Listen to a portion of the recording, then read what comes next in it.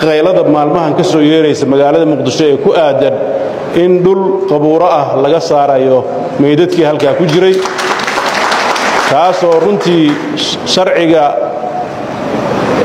madaxweynaha puntland saciid cabdulaahi deni ayaa weerar culus oo la xidhiidha qabuuraha iskuul bulisiya waxa uu ku qaaday madaxweynaha soomaaliya xasan sheekh maxamuud. Haddaba hadaladii saciid deni ee dad badan soo jiitay maxaa ka mid ahaa?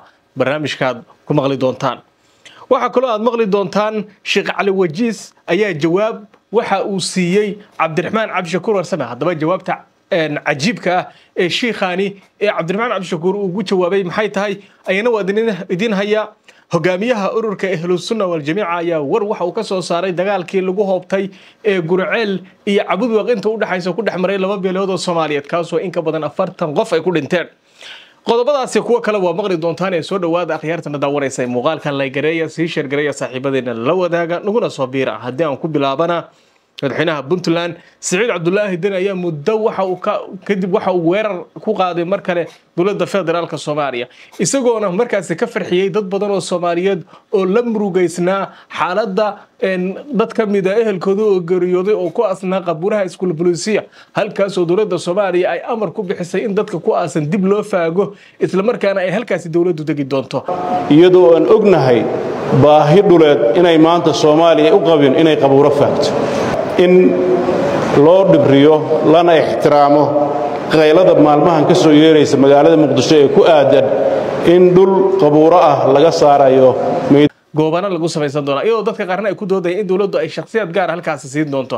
Laakiin dad badan waa tii ay warbaahinta ka ooyayeen islamarkaana ay ka tiiraanyeysnaayeen dadkoodaasi ay mar kale dib u soo faagayaan. Madaxweynaha puntland siciid cabdulaahi den ayaa markii ugu horreysay waxa uu ka hadlay xaaladda ka taagan qabuuraha iskuul bulusiya kadib markii ay dowladda soomaaliya amartay in meydadkaasi lagala baxo qabuurahaasi.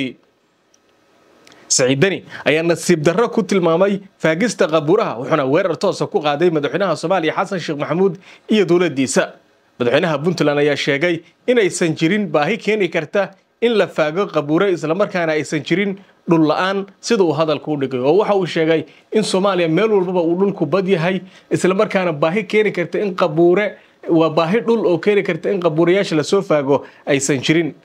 Madaxweyne xasan sheekh maxamuud waxa aan leeyahay maytidii maytida u dhimri dhul la'aan ma jirto dalka oo dhan waa wada dhul dowladeed ayuu yidhi siciid deni sidoo kale waxa uu ku eedeeyey dowladda dhexe inay horay u iibisay xarumo dan guud ah iyada oo laga faa'iidaysanayo si shaksi ah looga faa'iidaysanayo in xarumo dhul dan guuda ay horay dowladdu u iibsatay. Waxaan ognahay buu yidhi xarumihii dowladda iyo xeryihii dowladda in la yidhi waa laga maarmay oo markaas oo waa la iibinayaa. Haddana la leeyahay qabuuraha lagama maarmi waaye haddana qabuuraha waa laga maarmi waaye oo waa la faagayaa. Waa arrimo aan markaasi isqaban karin buu yidhi siciid cabdulaahi deni baahi dhuleed maantay soomaaliya uma qabto mana ka jirto in qabuuro la faago taas ma keeni karta buu yidhi. Oo boqolkiiba toddobaatan waa bannaan yahay buu yidhi.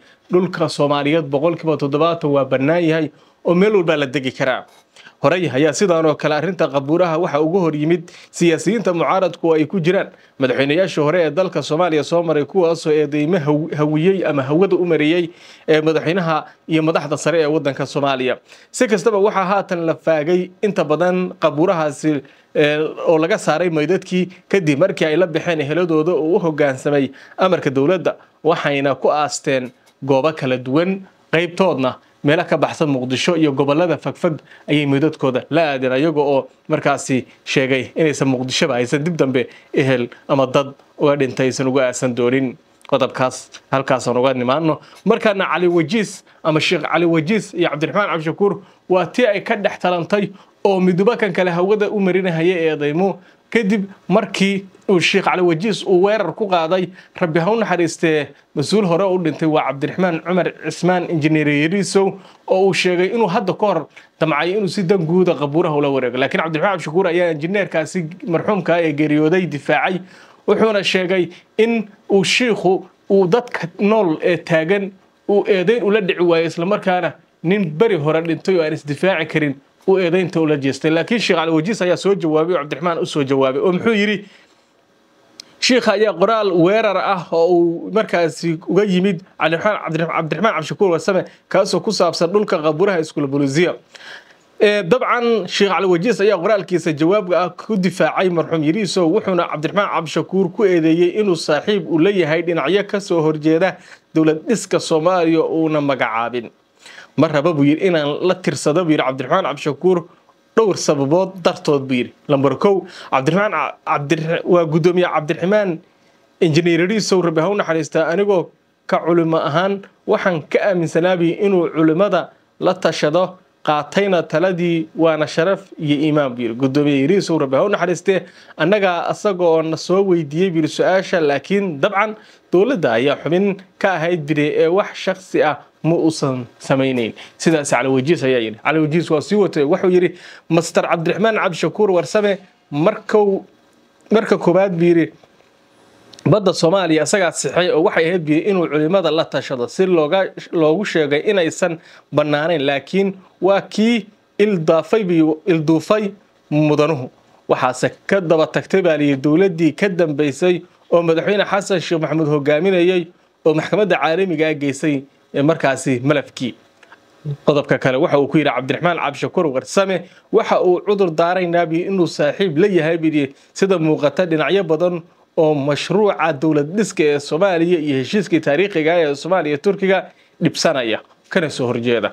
Ugu dambayntiina waxaan ummadda kula talinayaa biyidhi inay ugu dambayntii buu yidhi waxaan mudanaha kula talinayaa inuu markaani bedelo buu yidhi siyaasadiisii ku ciraystay ee madhalaysnimada ahayd dowlad kasta oo dagaal ku qaadayaana ah. Waxaana kula talin buu yidhi in uu markaasi ka waantoobo inuu dowlad walbaba uu mucaarad ku noqdo qorshahan eh ee cabdiraxmaan cabdishakuur uu caadaystay. Sidaas ayuu yidhi sheekh cali wajiis oo amuurahaasi ka hadlayay. Ugu dambayntiina waa tii dagaalo lagu hoobtay ay ka dhaceen galgaduud gaar ahaana inta u dhexaysa xeraale iyo caabud waaq dagaal laba beelood oo soomaaliya intay ku dagaalameen ay isaga dileen dad ka badan afartan qof. Sidoo kalena tiro intaasi ka badan ay ku dhaawacantay. Dagaal waxa uu ahaa ay dad badan oo soomaaliyeed ka naxeen islamarkaana dowladda lagu dhaliilay habka ay dagaalkaasi u wajahday iyadoona labadaas qabaa'il halkaa ku dagaalamayna lagu tilmaamay kuwa uu markaasi wax ficil oo aada u farxun sameeyey. Haddaba dadka ka hadlay waxaa ka mid a hogaamiyaha ururka ahlusunna waljamiica macalin maxamuud sheekh xasan oo in dhowaalo ururkiisu tan iyo markii si awooday ku dhisan tahay gobollada dhexe ee soomaaliya dagaal intii loogu qaaday laga farmaroojiyey aanu kaasi soo hadlin. Hogaamiyaha guud ee ahlusunna waljamiica macalin maxamuud ayaa markii ugu horreysay ka hadlay dagaal beelaadkaasi isagoona aada uga soo horjeystay macalin maxamuud ayaa sheegay in wax laga xumaada ay tahay inay islaayaan dad walaalo ah oo haddana muslim ah ayna iska dilaan dad badan oo aan waxba galabsan. Sidoo kale waxa uu tilmaamay in culimmada soomaaliyeed ay ka gaabiyeen doorkoodii ay ka qaadan lahaayeen colaadahaasi wuxuuna ku baaqay inay u istaagaan arrintaasi. Waxaa kaloo uu yidhi waxaan leeyahay biri qadiyooyinka noocan oo kale ah waxaan weydiisanaynaa mar dambe in aysan ka dhicin dadka muslimka ah ee halkaasi ku dagaalamayna aysan ku soo laaban.